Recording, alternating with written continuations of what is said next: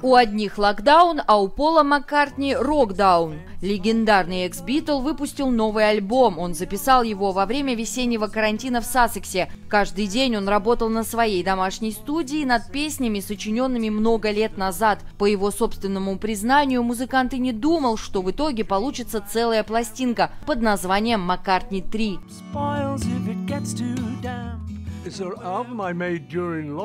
Это альбом, который я записал во время локдауна или рокдауна, как мы его называли. Было и правда здорово создавать, дорабатывать музыкальный материал лишь в свое удовольствие. К тому же я довел до ума много треков, написал несколько новых специально для альбома, и в итоге получилось 11 песен. Hear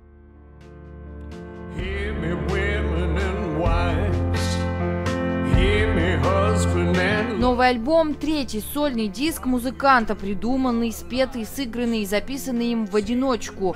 Первый под названием «Маккартни» вышел еще в 70-м, «Маккартни 2» увидел свет 10 лет спустя.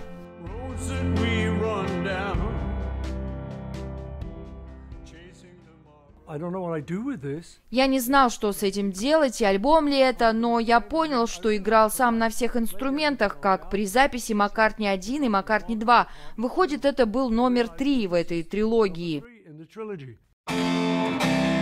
Фортепиано, гитара, ударные тексты и вокал. Сам себе музыкант Пол Маккартни в очередной раз подтвердил статус виртуоза, гения поп-музыки.